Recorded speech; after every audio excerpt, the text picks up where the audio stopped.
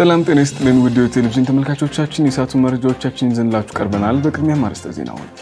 በሱዳን በደረሰ የቦምብ ጥቃት ሁለት ቤተ ክርስቲያኖች መውደማቸው ተገለጸ። የጥይት ማርከሻ መድኃኒት የወሰደው ሰው በተተኮሰበት ጥይት ሕይወቱ አለፈ።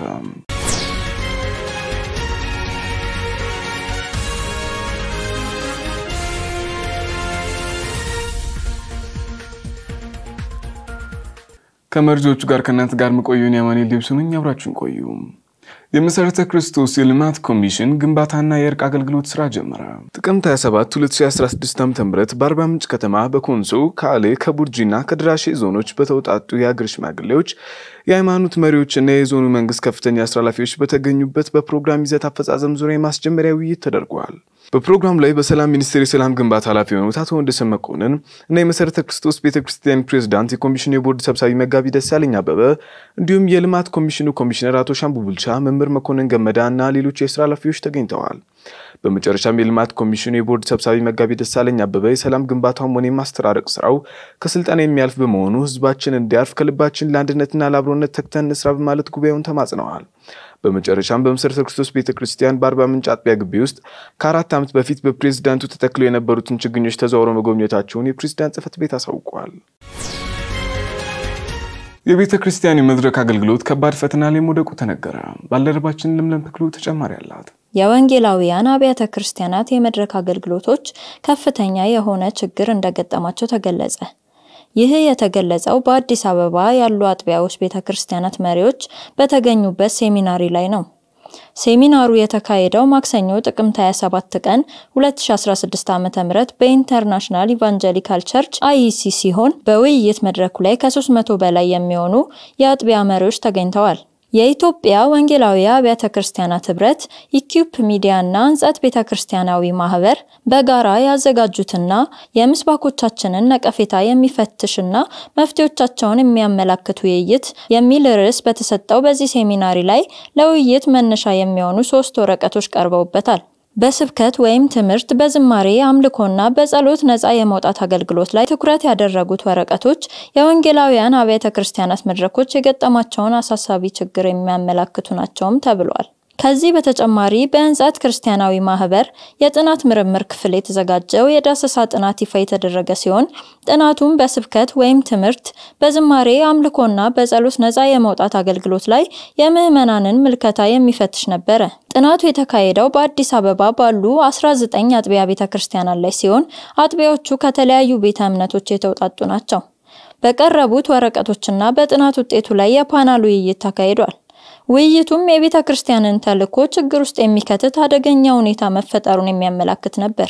በሴሚናሩ መጨረሻ ላይም የጉባኤ ተሳታፊዎች ለቀጣይ ተግባራዊ እርምጃ ያግዘናል ያሉትም ባለ ስድስት ነጥብ የአቋም መግለጫ አውጥተዋል። መረጃውን ከሕንጸት ድረገጽ አገኘ ነው። ተመልካቾቻችን መረጃዎቻችን እንደቀጠሉ ናቸው። አሁን ደግሞ ከውጭ ሀገራት ወዳገኘናቸው መረጃዎች እናልፋለን። በሱዳን በደረሰ የቦምብ ጥቃት ሁለት ቤተ ክርስቲያኖች መውደማቸው ተገለጸ። በባለፈው ሳምንት ረቡዕ ሶስት ሰዓት አካባቢ በተፈጸመው ጥቃት በኦምዱርማን ለረዥም ጊዜ የቆየው የሱዳን ኢቫንጀሊካል ፕሬስባይቴሪያን ቤተ ክርስቲያን ሙሉ በሙሉ በሚባል ደረጃ የወደመም ሲሆን ይህንንም ጥቃት የፈጸመው የሱዳን ታጣቂ ኃይል እንደሆነ የአካባቢው ክርስቲያን መሪዎች ገልጸዋል። የአዳኛችን ቤተ ክርስቲያን ተብላ የምትጠራው ቤተ ክርስቲያን በኦምዱርማን ካሉት አብያተ ክርስቲያናት ግዙፏ ስትሆን ወንጌላውያን ፕሬስባይቴሪያንና ኤጲስቆጶሳውያንን በጋራ የሚያመልኩባትም ነበረች። የቦምቡ ጥቃት በደረሰበት ጊዜ ወላጅ አልባ ልጆችን ጨምሮ ሰዎች በአካባቢው የነበሩ ሲሆን ነገር ግን የተጎዳ ሰው አልነበረም። የቤተ ክርስቲያኒቱ ሕንፃ ሶስት ጊዜ የተመታ ሲሆን በዚህ ምክንያት ሕንፃው ላይ በተለይም ጣሪያው ላይ ከፍተኛ ጉዳት ደርሷል። ጥቃቱ በደረሰበት ሰዓት በቤተ ክርስቲያኒቱ ውስጥ የነበሩ መጽሐፍ ቅዱሶችና የዝማሬ መጽሐፍት ሙሉ በሙሉ ወድመዋል። በከተማው በወንጌል አማኞች ስም ከተመዘገቡ ሕንፃዎች አብዛኞቹ በኦማር አልበሽር አገዛዝ ስር የተያዙ ሲሆን በቤተ ክርስቲያኒቱ የንግድ ትምህርት ቤት እንዲሁም በሁለተኛ ደረጃ ትምህርት ቤት ላይ ተመሳሳይ የቦምብ ጥቃትም ደርሶ ነበር። ይህች ቤተ ክርስቲያን ከኮፕቲክ ቤተ ክርስቲያን ቀጥሎ በሱዳን ዕድሜ ጠገቧ ቤተ ክርስቲያን ስትሆን የአንግሊካን ጳጳስ የሆኑት ሕዝቅኤል ኮንዶ ለ Christianity Today እንደገለጹት ቤተ ክርስቲያኒቱ ላለፉት 81 ዓመታት አገልግሎት ስትሰጥ ቆይታለች። ከዚህም ጥቃት ጀርባ ያለው ማን እንደሆነ በግልጽ ስናውቅ እናሳውቃለን ያሉት ጳጳስም ለሱዳን ሰላም ላደረጋችሁት ያልተቋረጠ ጸሎት ከልብ እናመሰግናለን ብለዋል። በካርቱም ደቡባዊ ክፍል የምትገኘው አልሻጃራ ውስጥም የሮም ካቶሊክ ህንፃ ላይ ባለፈው አርብ ላይ በቦምብ ጥቃት ተፈጽሞ አምስት መነኮሳት መጎዳታቸውን ጨምሮ በክርስቲያን ቤተ እምነቶች ላይ እየደረሰ ያለው ጥቃት በሱዳን ኃይሎች መካከል የተፈጠረው ግጭት ጦሱ ለክርስቲያኖች እንደሚከፋ Christian Today ዘግቦ አስነብበዋል። መረጃውን ከክርስቲያኒቲ ቱዴይ ያገኘ ነው። በኡጋንዳ አንዲት ባለትዳር ክርስትናን በመቀበሏ ምክንያት በባሏ ከፍተኛ ጥቃት ደረሰባት። ባልደረባችን ሽመልስ ኃይሌ ተጨማሪ አለው። ሀጃራን አሙዋሴ የ32 ዓመት ወጣትና የሶስት ልጆች እናት ስትሆን በቡዳካ ከተማ ከንከቡ መንደር የ42 ዓመት ጎልማሳ ከሆነው ሙሳ ከተባለ ባለቤቷ ጋር ትኖር ነበር።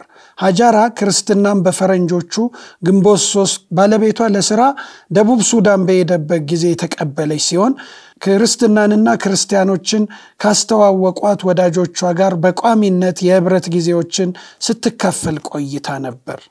ታዲያ ጥቅምት ስድስት ቀን ከቤት ህብረት ስትመለስ ከባለቤቷ ጋር እንደተገጣጠሙ ነው ለጓደኞቿ የገለጸችው።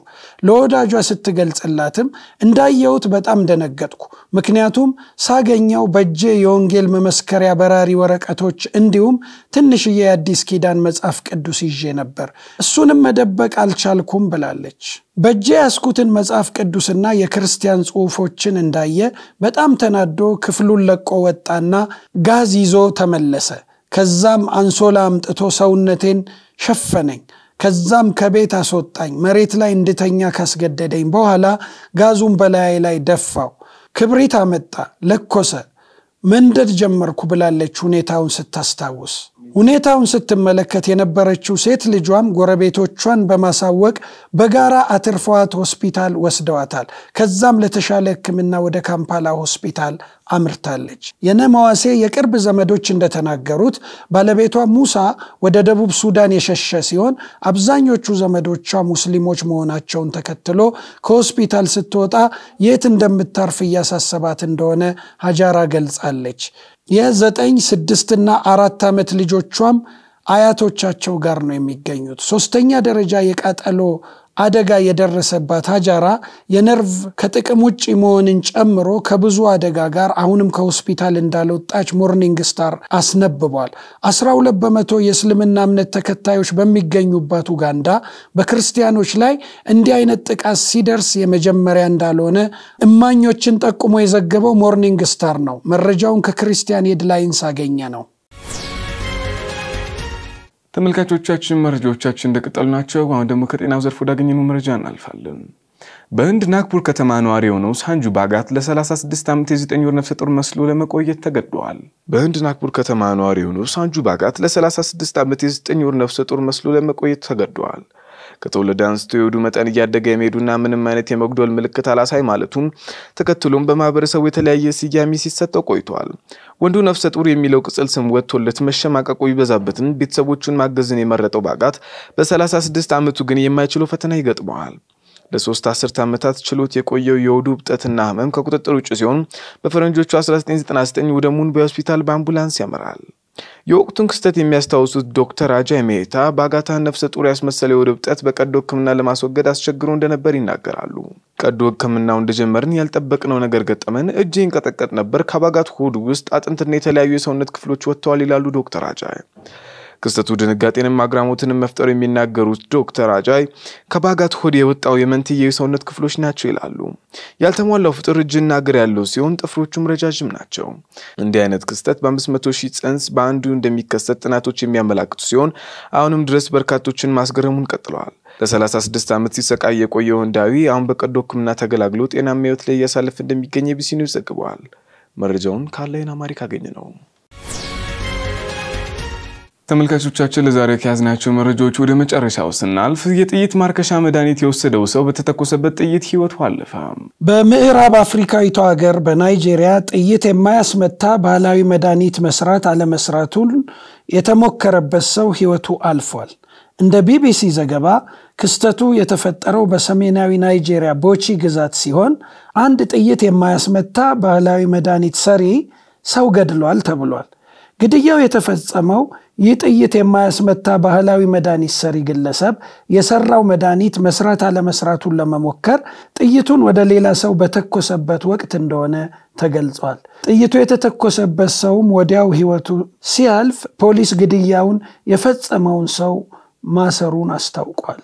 በናይጄሪያ ጥይት የማያስመታ ባህላዊ መድኃኒት ጉዳት እንደሌለው የሚያምኑ ሰዎች ብዙ ናቸው የተባለ ሲሆን በዚህም ምክንያት ሕይወታቸውን የሚያጡ ሰዎች እየበዙ መጥተዋል ተብሏል።